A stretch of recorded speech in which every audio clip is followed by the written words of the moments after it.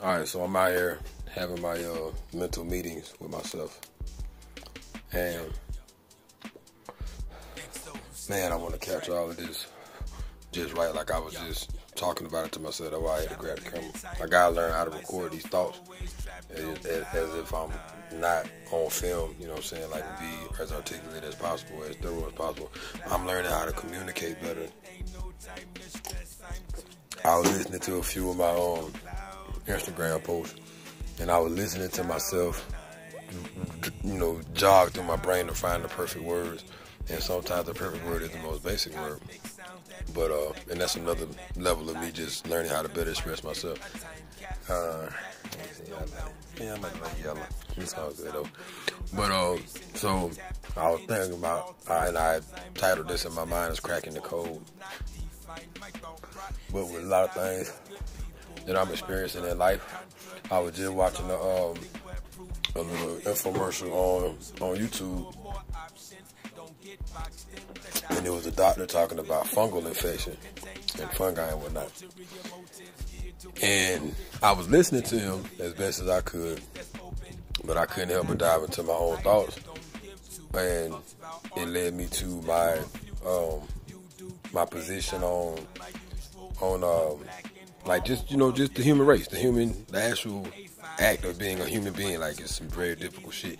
And one thing, I, the first thing I thought about was uh, I've always been drawn to the X Men and the mutants. The idea of being a mutant human being. And the whole controversy, the whole conflict in the X Men, um, in the X Men series, you know, is about the battle between the quote unquote perfect human and the mutant the mutant human. And the perfect human is in fear of the mut, mutant human because they don't understand their difference. So um, we get into this control thing you know the person that that feels inferior by because of mis, uh, you know lack of understanding about something uh, look, looks at that thing as a threat and wants to control it. And uh, you know, it brought me to thinking. Look, I, on one of my songs, the song "Motion," uh, Bob Proctor says, "We live in an ocean of motion." But uh, I, I, oftentimes think of our human existence as if we live in an ocean. You know, minusing the actual value of water as H2O but the oxygen phase that we live in represents our, you know, our um, surrounding organism. You know, water is the surrounding organism for fish, but our oxygen level of existence is our surrounding organism for, you know, as human beings. And the biggest issue that we have as human beings is our ability to use our minds to think, to to to create. And creation goes into so many realms. It goes into a realm of physical activity and also it goes into a psychological realm. And we create. Um, we, we because we're able to create beyond our initial purpose, which human beings are really one of the few, probably one of the only organisms that doesn't have a real purpose in the in the in the, in the balance and sustainability of the environment that we live in, we have a mental um, existence of purpose, and our mental existence of purpose leads us to always want to advance,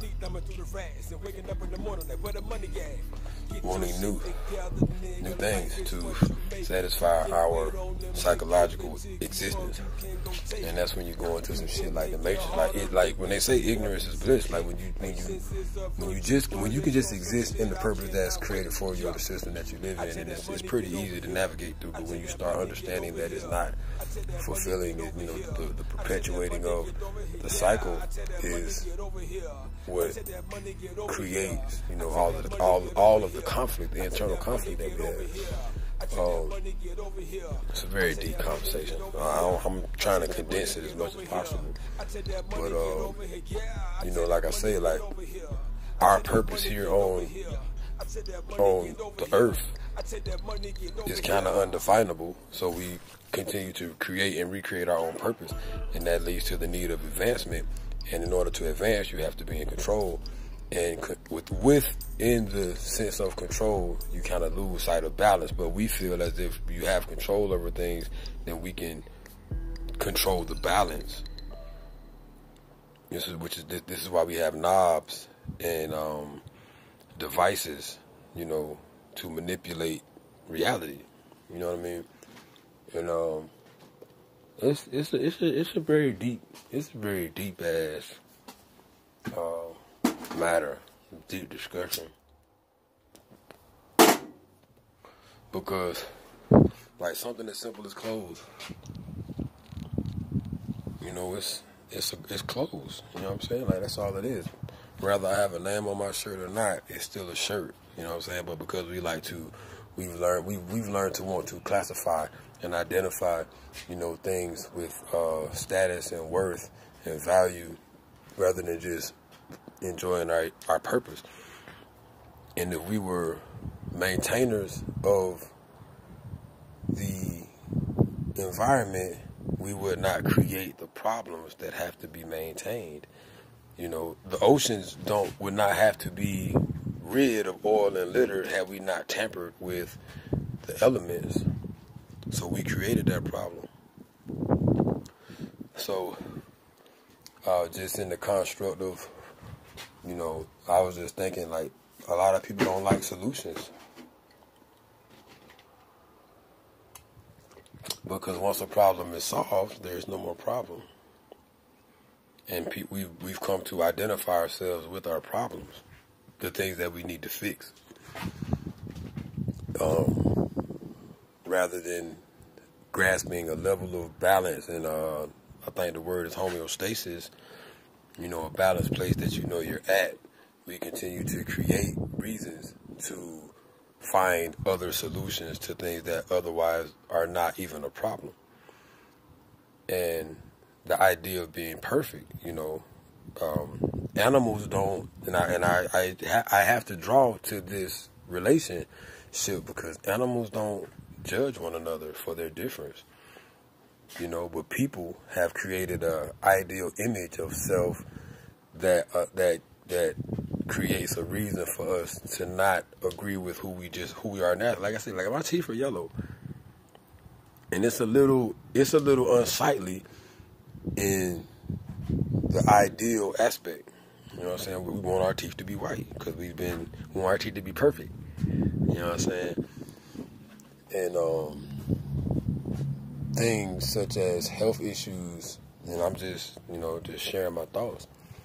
Things such as health issues are a created environment. Know, I was thinking like, does a does an elephant have the same blood pressure as a squirrel? So how in the fuck can every human being have the same blood pressure? You know, when you're experiencing things that you think are blood pressure issues, a lot of times I think certain people are meant for certain activity.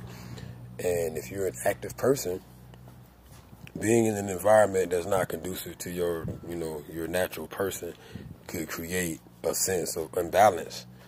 So if you're some if you're someone that's supposed to be running but you're sitting then this could create that blood imbalance and what they call high blood pressure because you're not naturally exerting the energy that you as an individual are supposed to exert.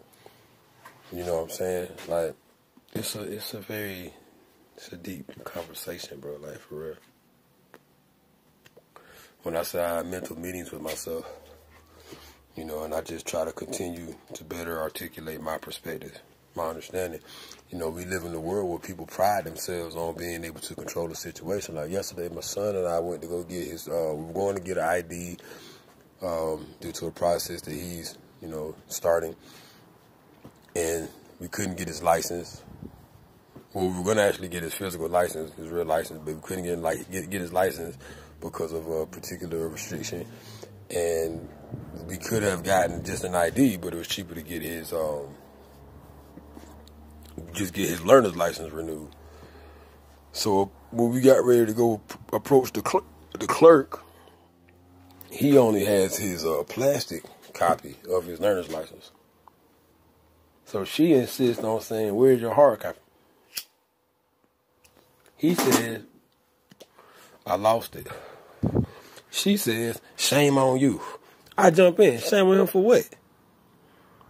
You know what I'm saying? You didn't. You don't know under what circumstances his license was lost, but you have to interject some means of control. She said no, because I said to be honest with you, I find it more uh, impressive that you were able to keep the first copy. Nobody keeps the paper copy. You throw the paper copy copy away as soon as you get the hard copy. But he had the, the paper copy was laminated. We laminated the paper copy, and he held on. He kept that copy. It's still valid. Uh, I think it does expire, but it's still representation that you have already completed the process. So even all this shit with due dates and you know like updates and like this this this world that we live in, like you know, creating positions for people where people are pretty much otherwise fucking worthless.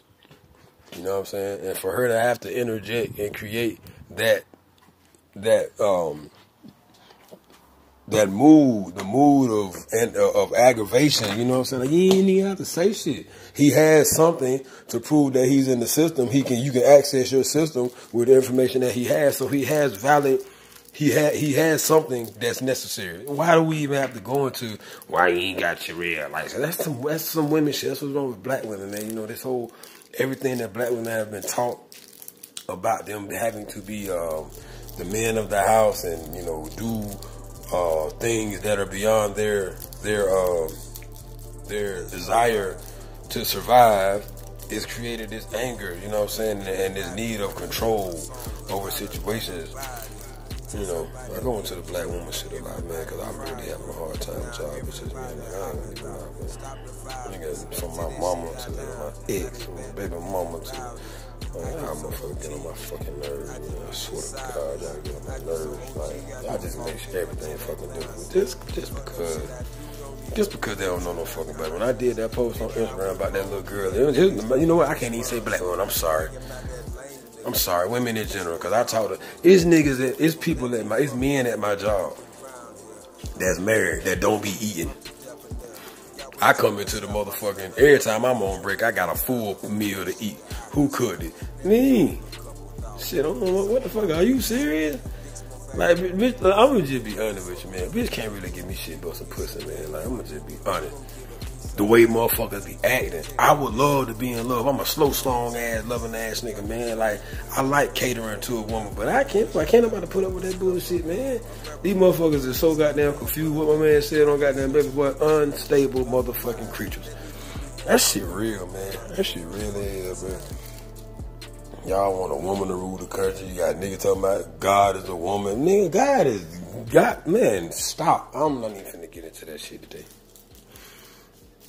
I'm not finna get into shit. Motherfucker told me, I since I want my peace, just stay from around me, cause she ain't gonna. She basically saying she ain't gonna be a part of the peace. Motherfucker, I ain't done that shit. But yeah, man. As long as you want to be in control, there will be no balance. People don't want balance, and people don't want solutions. People want to be in control. It's the world we live in. So, you know, eh, it is what it is. A couple years. You know what I'm saying? Everything come full circle.